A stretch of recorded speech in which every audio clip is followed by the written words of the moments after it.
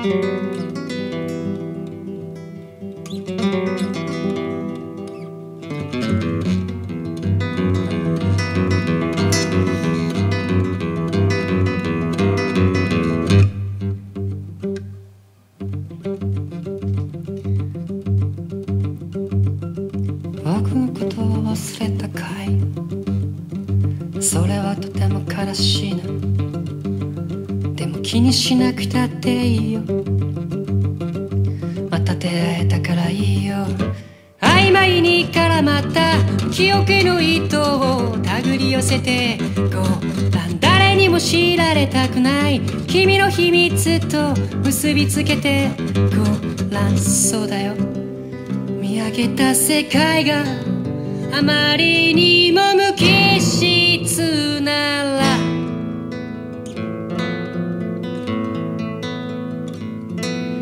ようこそお越しくださったこの模範的な黒のひとときへ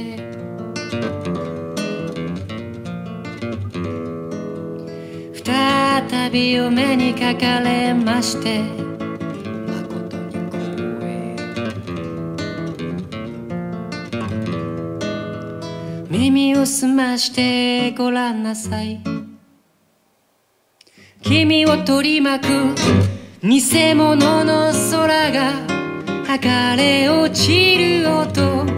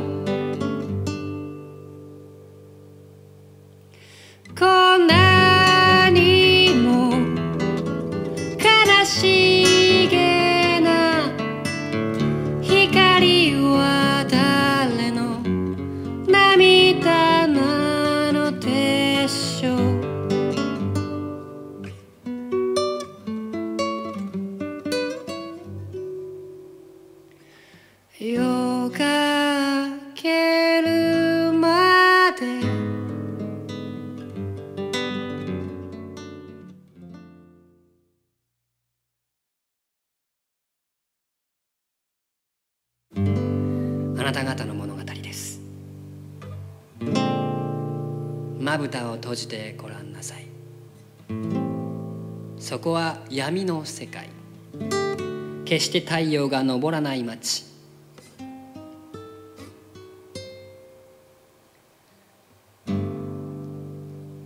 そこにはグレープフルーツぐらいの明るさと大きさのぼんやりとした天体が浮かんでいます。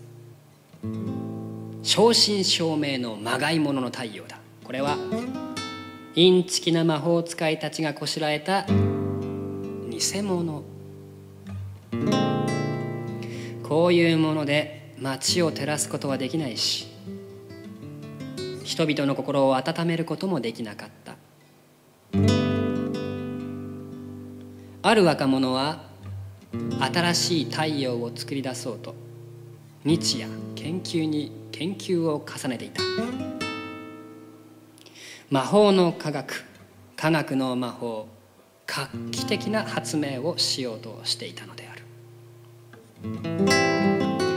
しかしあまりにまっすぐあまりに正直あまりにひたむきに太陽と向き合ってしまったがために身を滅ぼしてしまうという悲しい結末でもある。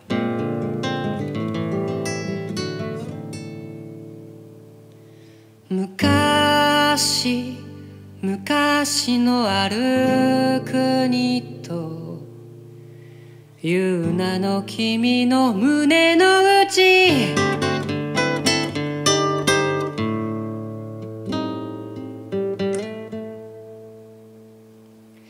ちょっぴり覗いて見てみれば回る回り始める。物語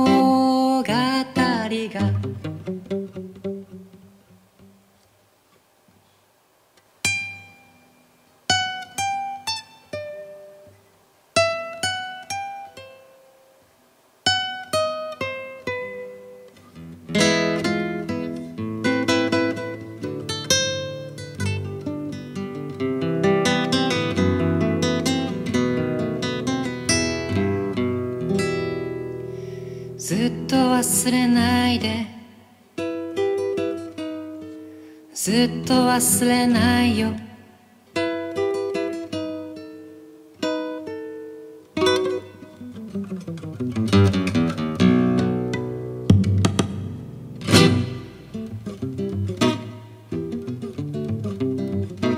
不揃いの冷たい石を並べただけのこの街でぼんやりとした太陽はうっすら僕を照らしてる。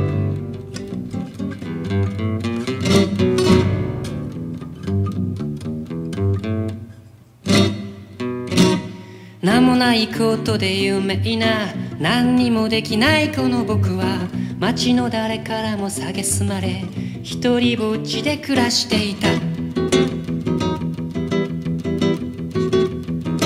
暮らしていた。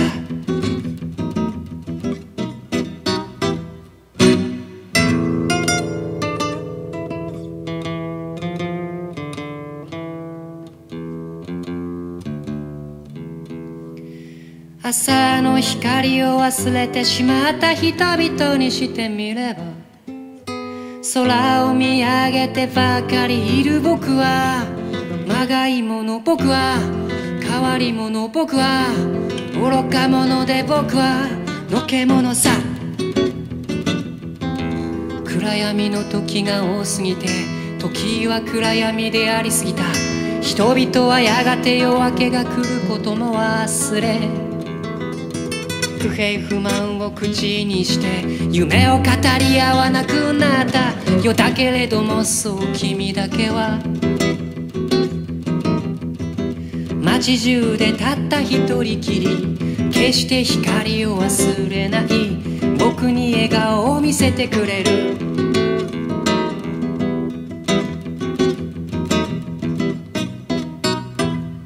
完璧な理論。精巧に作られた部品。どれをもってしても火の打ちどころはないはずだった。しかし太陽は一向に一向に一向に昇らない。諦めかけたその時。アイデアが降ってきた。例えば神様がこの世に太陽をもたらすその夜明け。一体どのような気持ちでその光の玉をこしらえたのだろうか。朝食にひときわに大きな目玉焼きが食べたかったからだろうか。たまりにたまった洗濯物をいっぺんに乾かしたかったからだろうか。部屋の隅っこで丸まっている靴下の片方を見つけたかったからだろうか。いやそんなことはないはずだ。大体神様は主婦じゃない。迷える者には灯火を。凍える者にはぬくもりを。生きとし生けるすべてのものに。与えたかったもの。それが太陽を作り出す。重要な部品ではないかと思ったのだ。賢明な皆様方にはもうそれが何なのかわかるはずだ。それは口にするのは少しだけ恥ずかしい「あ」で始まって「い」で終わる。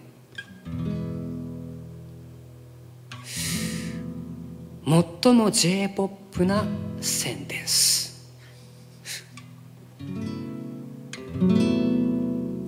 そう。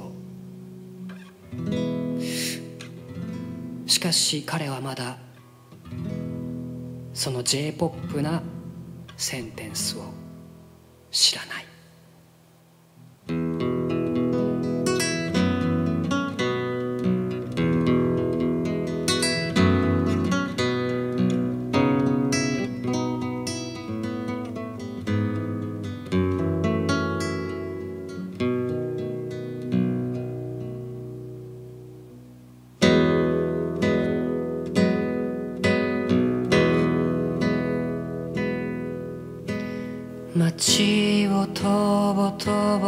歩く。どこまでも続く暗闇。の中。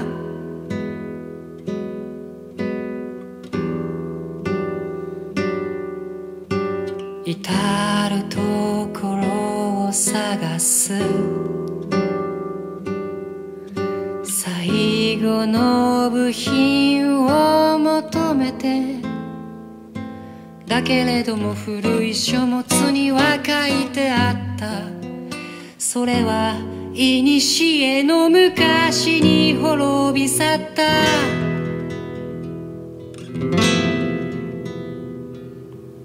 暗闇の時が多すぎて時は暗闇でありすぎた。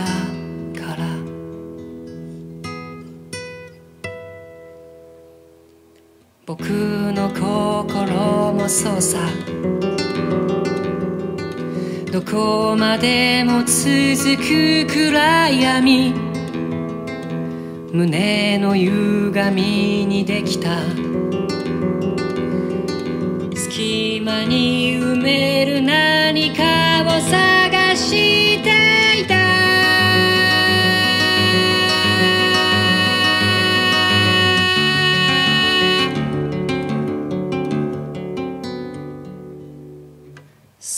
して君に出会った。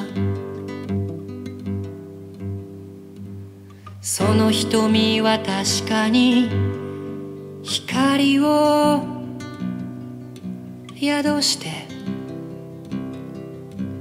輝いていた。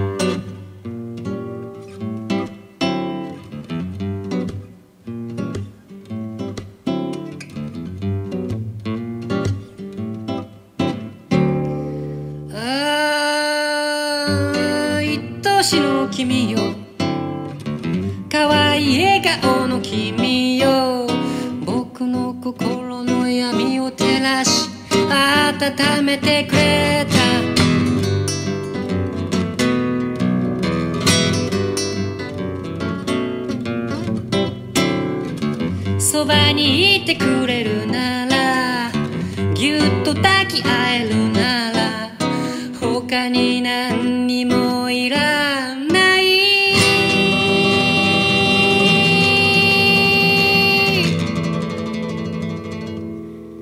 愛しい君よ。愛しい君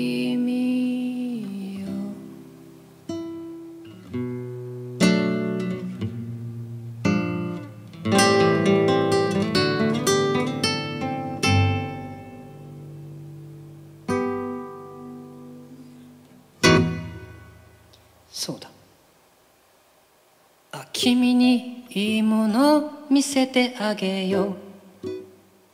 何にもできないこの僕が全てをかけてこしらえた。機械仕掛けの宇宙誰にも内緒だよ。誰にも内緒だよ。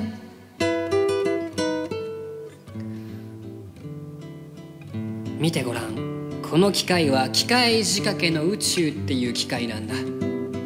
君と出会って j p o p なセンテンスの本質を知って初めて完成したマシーンだ。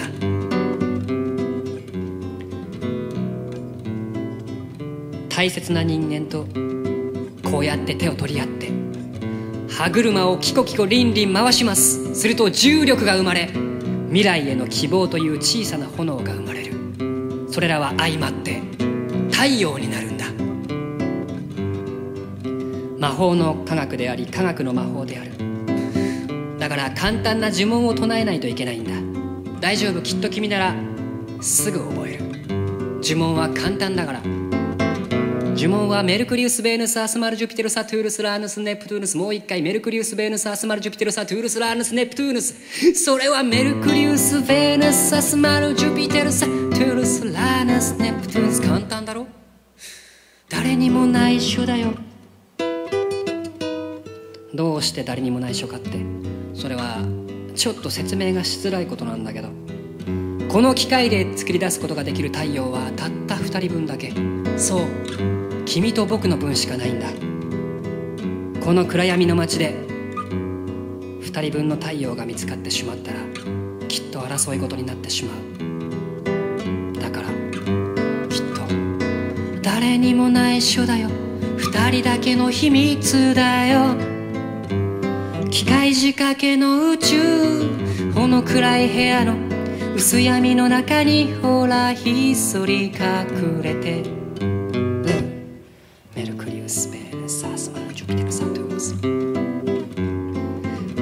にとっての未来とは君のことだ。君と共に暮らす。明日の連なり・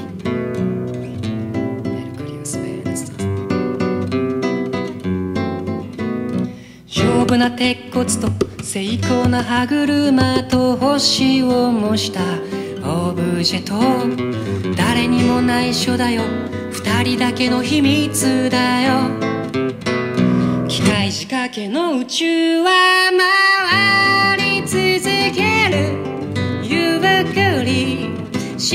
静かにこんな日が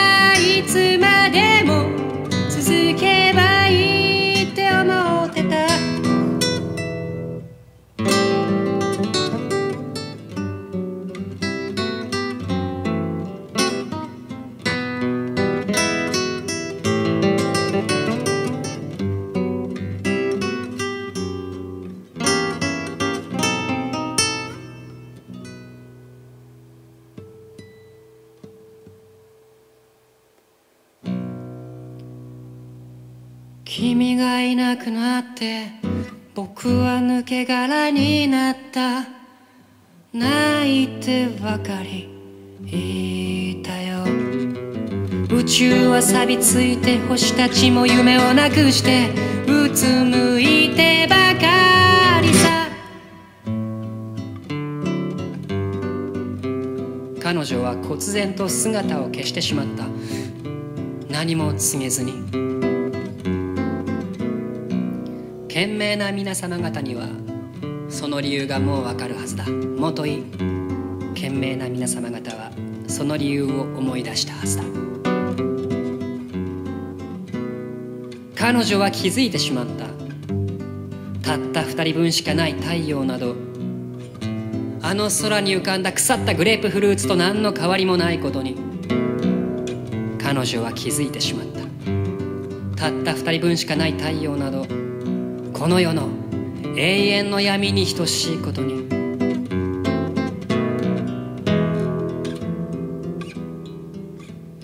一人ぼっちになってからも彼は歯車を回し続けた。しびれる腕で歯車を回し続けた。一人ぼっちになってからも彼は呪文を唱え続けた。忘れた声で呪文を唱え続けた。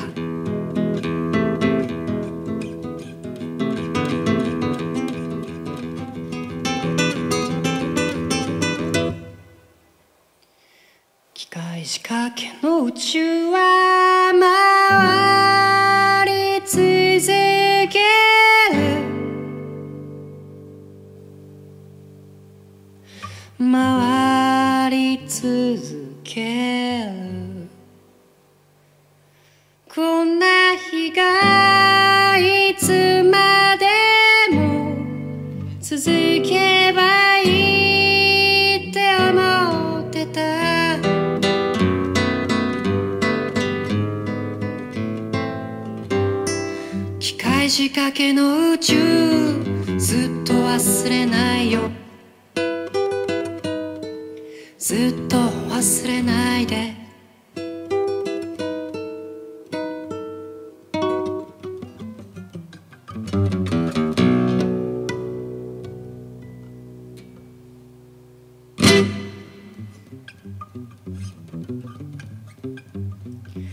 不揃いの冷たい石を並べただけのこの街で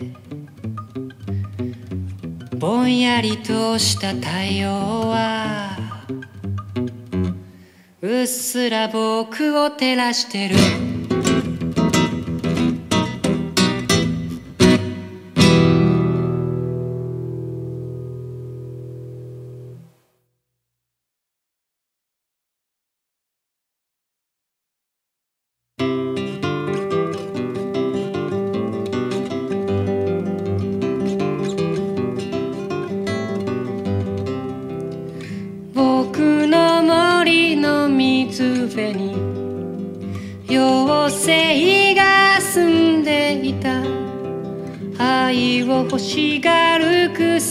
草木に花の蜜を運んだ。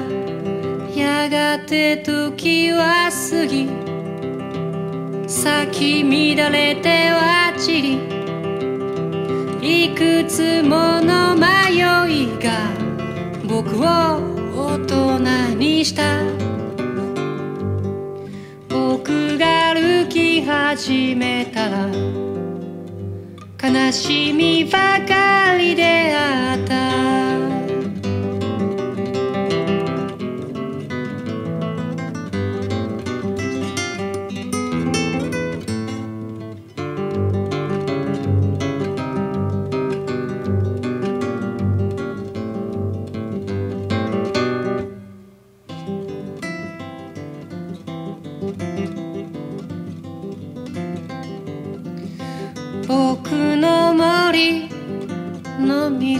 水辺に。妖精が。妖精が。住んでいた。愛を欲しがる草木に。物語を聞かせた。やがて時は過ぎ。迷い歩き眠り。いくつもの手のひらが僕を導いてくれた。僕が言葉を覚えたら誰もが皆傷ついた。僕が言葉を覚えたら誰もが皆傷ついた。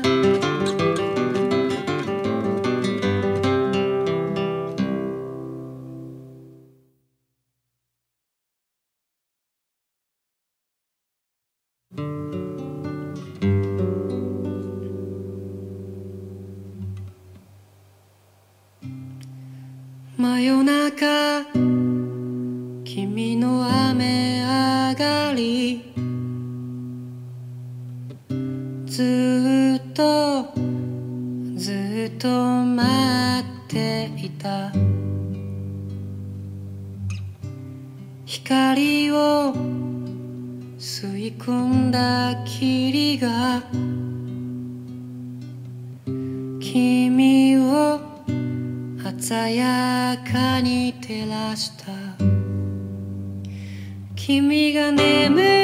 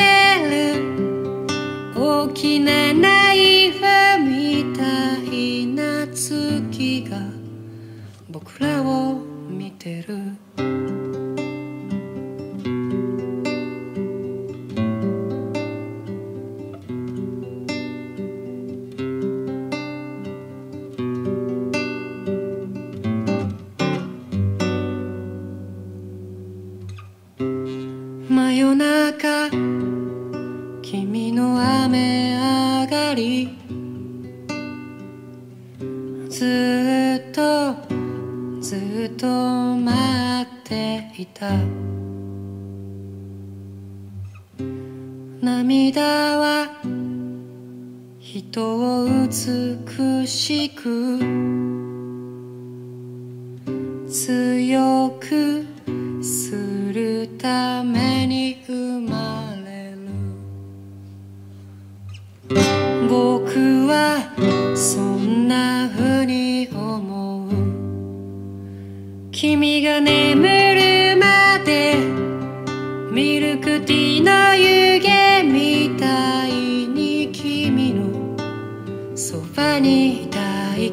い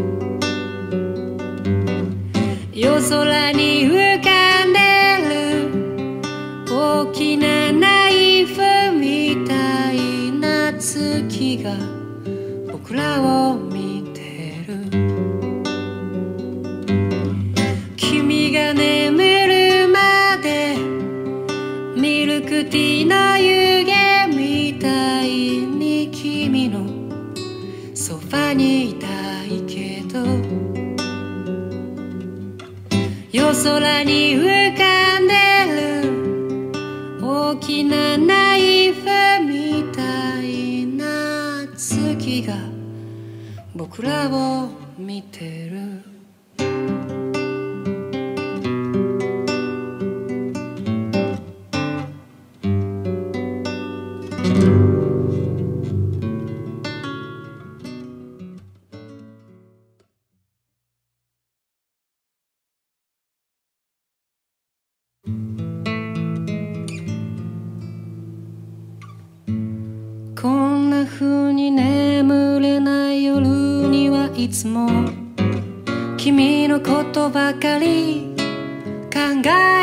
しまう。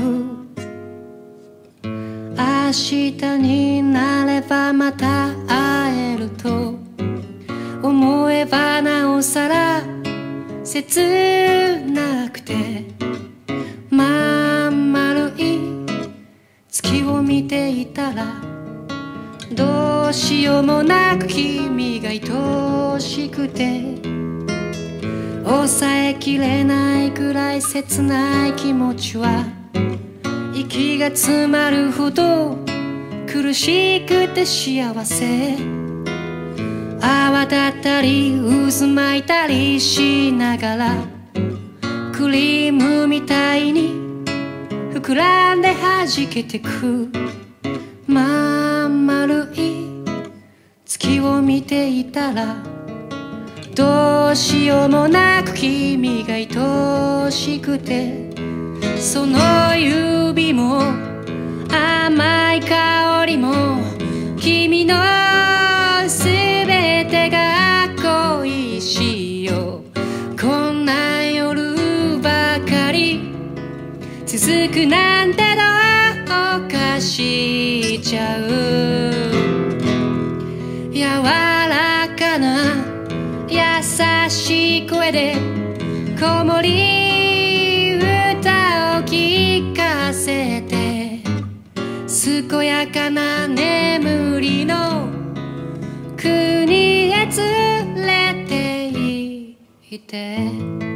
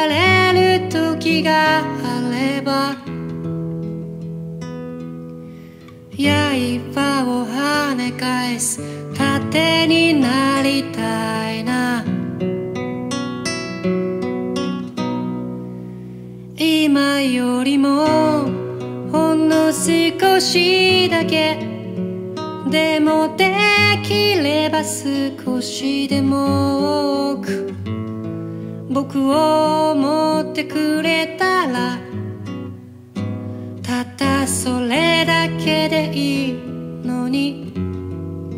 今よりもほんの少しだけ。でもできれば少しでも。多く僕を思ってくれたら何にだってなれる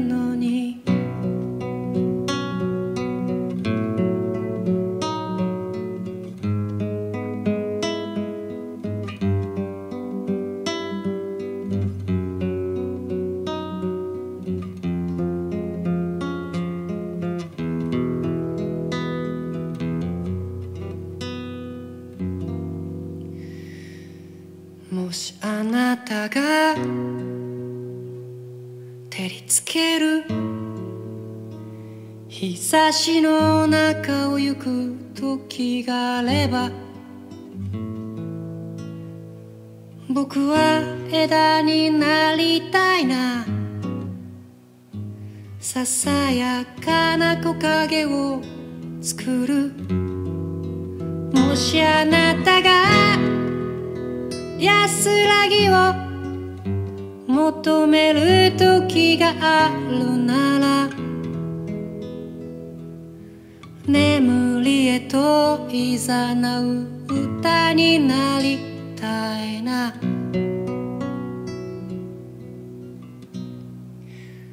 今よりもほんの少しだけ。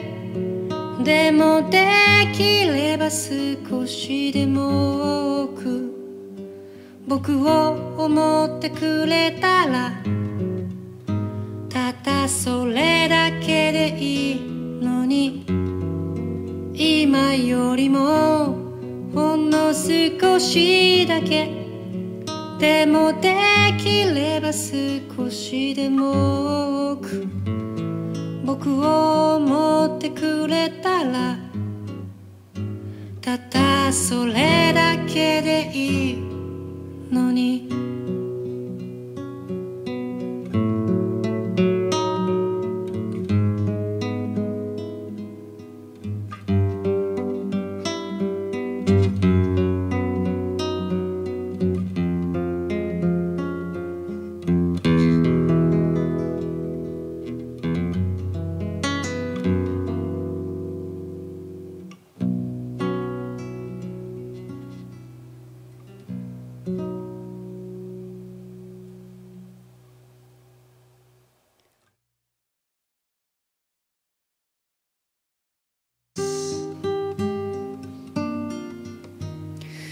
三毛猫の三毛のお話なんですね。三毛猫の三毛はとっても口笛が上手だ。どうして口笛が上手かというと悲しいことがたくさんあったからです。そう我々も悲しいことがあると口笛を吹いて寂しさを紛らわせようとするんですね。そんなことをしているうちにとっても口笛がうまくなってしまったんですね。そうなんです。そうなんです。ここまで大丈夫ですか？そうですね。赤い月が昇ります。赤い月の麓では真っ赤な月明かりに照らされて悲しい物語が繰り広げられます。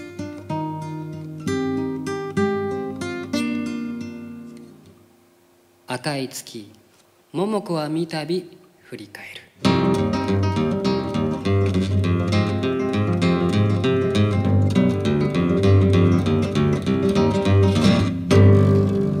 三丁目の鈴木さんちのポチがふてくされながらブルースなまりの遠吠えを一つすれば街中に潜むトムソンガゼルたちが群れをなして君を苦しめる肩こりを食べにやってくる夜空を見上げれば赤い月鮮やかに燃えるフィリオドさよならまた会えるならばきっと素敵な夜になるでしょう。さて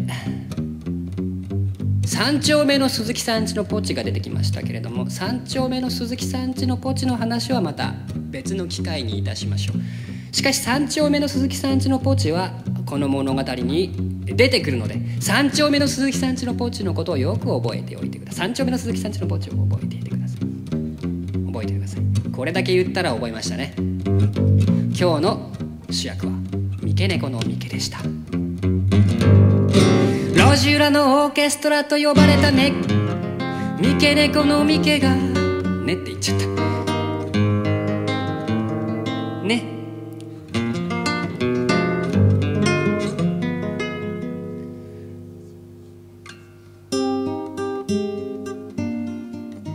ここで重要な訂正があります。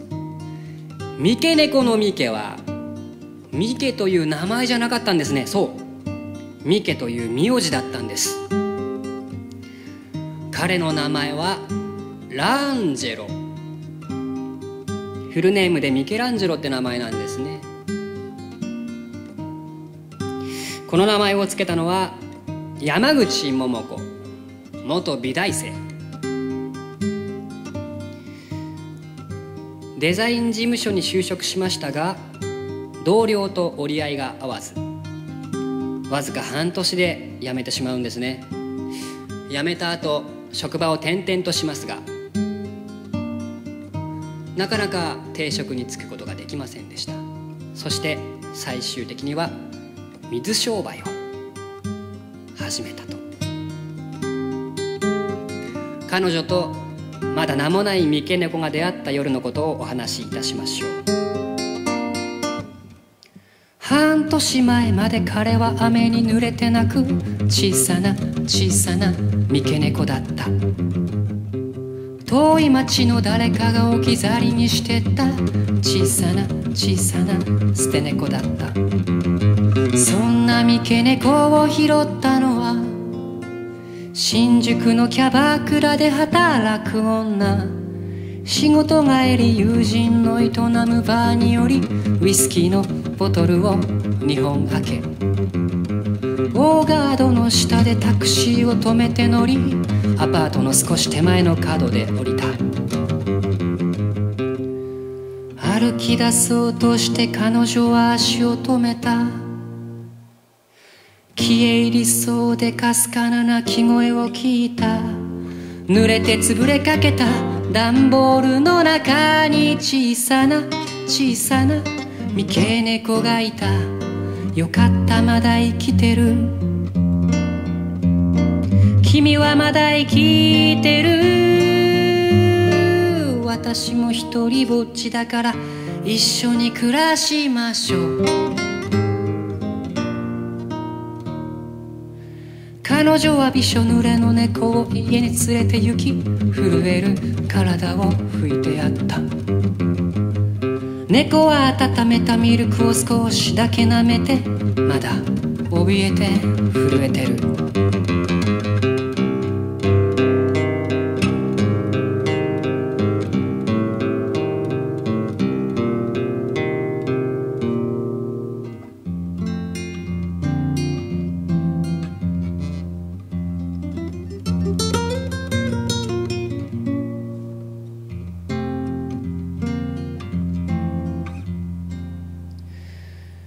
節は移ろい。やがて春になり春は移ろい。やがて夏になる。三毛猫は今日も彼女にすり寄りじゃれて遊んで甘えて暮らした。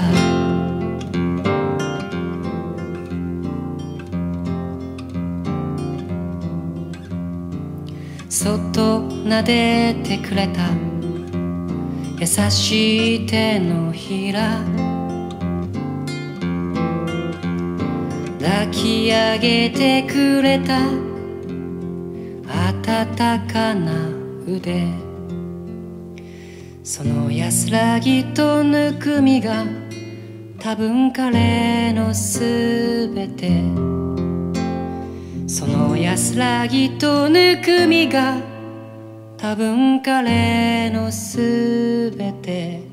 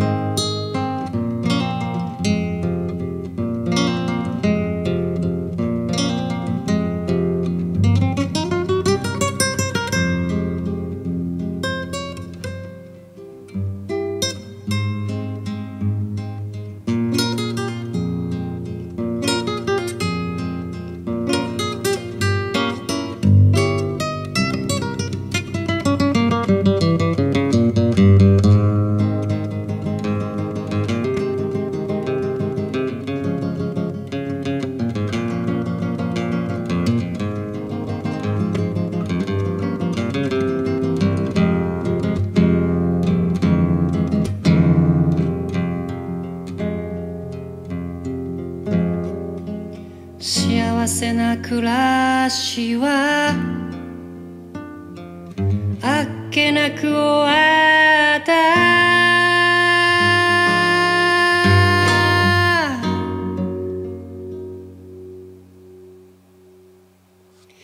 三毛猫はこの街の路地裏に住み着いた。実は彼女には恋人ができていた。一緒に住むことも決まってた。恋人のマンションはペットが飼えなくてなおかつしかもそいつは猫アレルギーだった。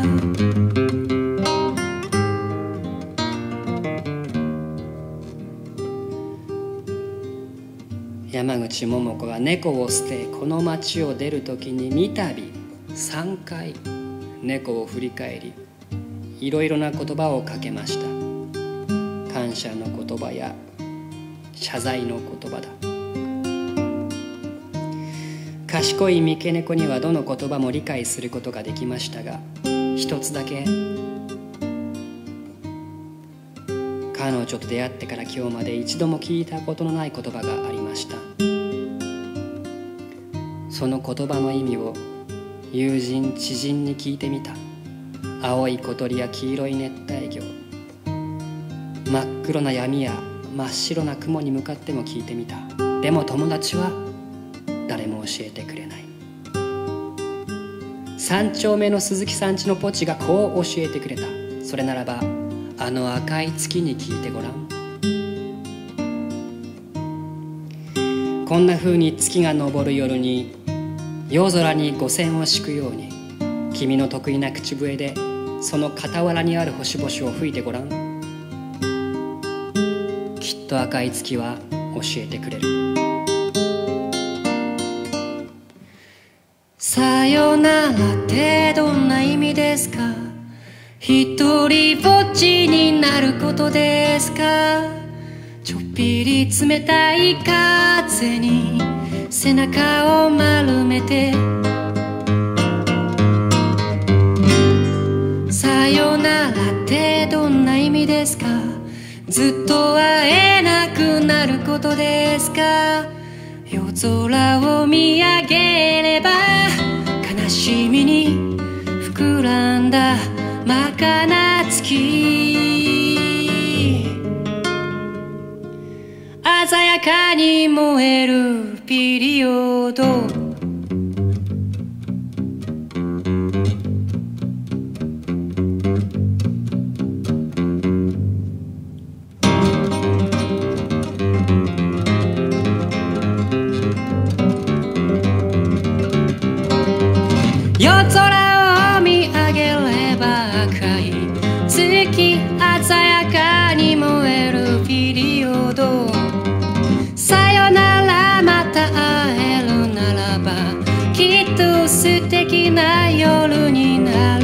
しょうトゥトゥトゥトゥトゥトゥトゥトゥ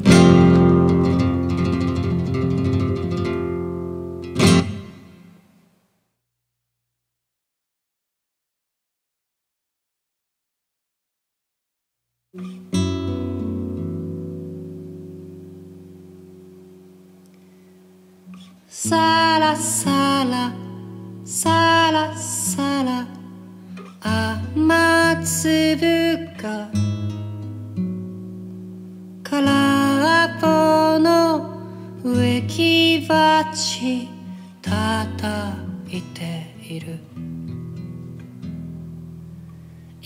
つだって今だって雨粒が心のどこかに隠れている。拾い集めて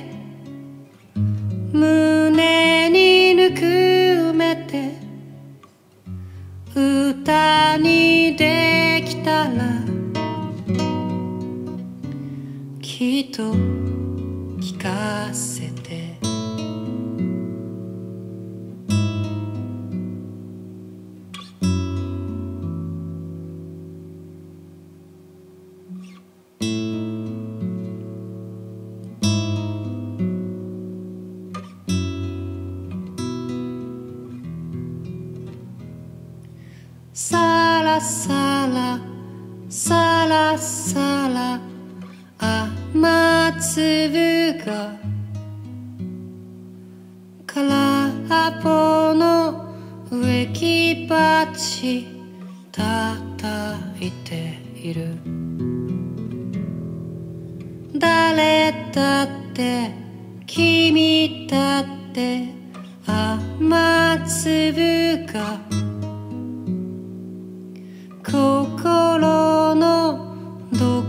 こかを濡らしている。涙になれるまで眠っている。優しくなでてそっ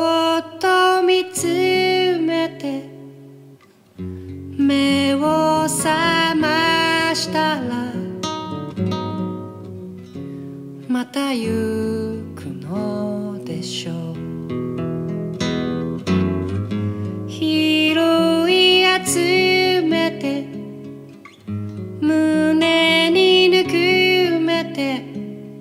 歌にできたらきっと。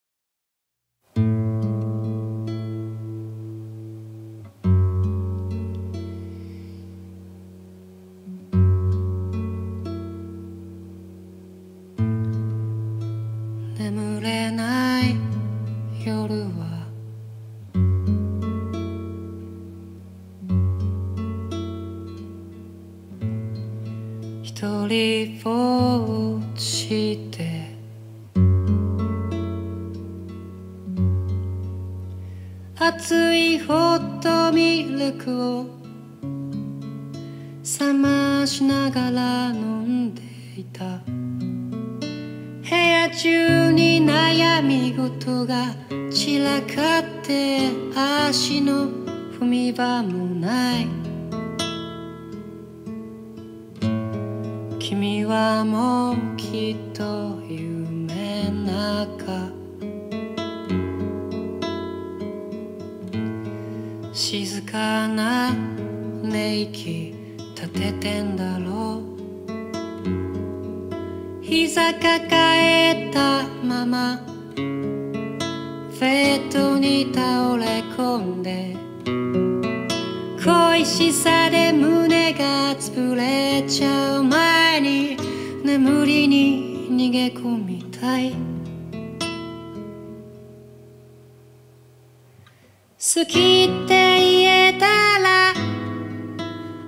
してるって言いたくなって君の対応を知ったら全てが欲しくなって思いは募るままぐるぐる回る。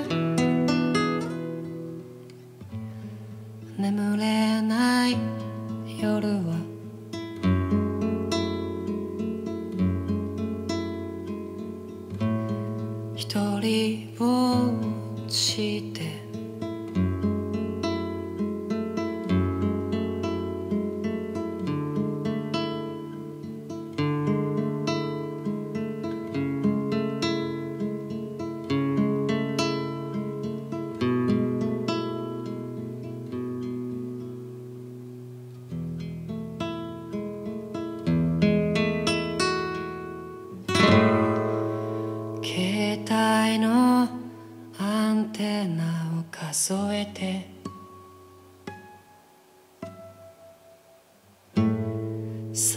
にいるつもりでいたけど。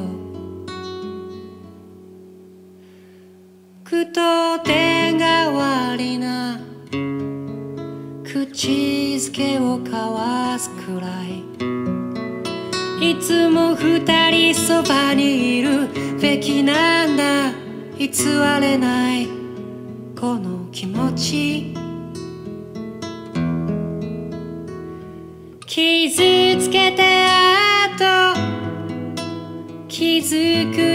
しさがあってすれ違いの末に分かり合えることがあって朝を迎えるために夜が更けてゆく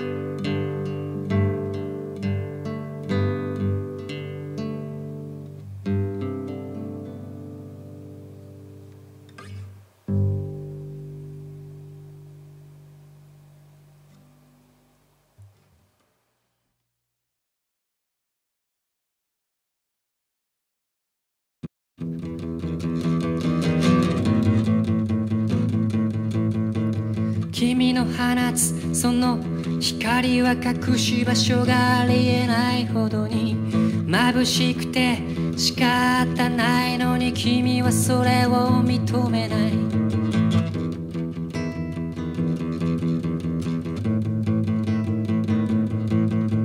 自分に少し嘘ついてそれなりに平穏な暮らしに埋もれても仕方ないのに君はそこを動かない。わからなくないよ。君は沈まる太陽。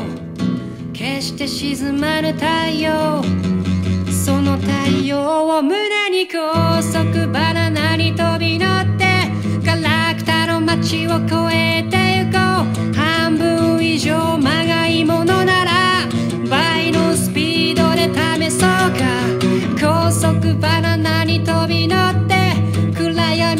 闇の街を越えてゆこう。どっちが前かわからないならそんなナビなんて捨てちゃえよ。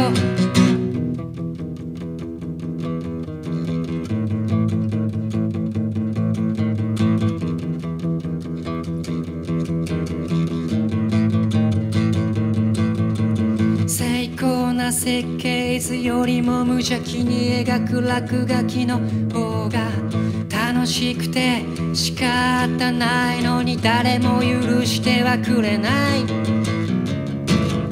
わからなくないよ。決して焦ぬ花束。君は焦ぬ花束。その花束を胸に高速バナナに飛び乗って。君をドライブに連れ出そう。退屈しのぎが望みなら。バナナもおやつに入れちゃえよ。高速バナナに飛び乗って君をドラ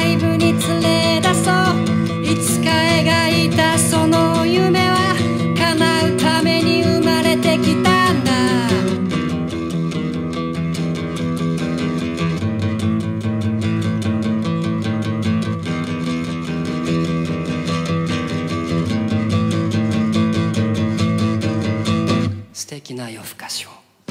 山田でした。どうもありがとうございます。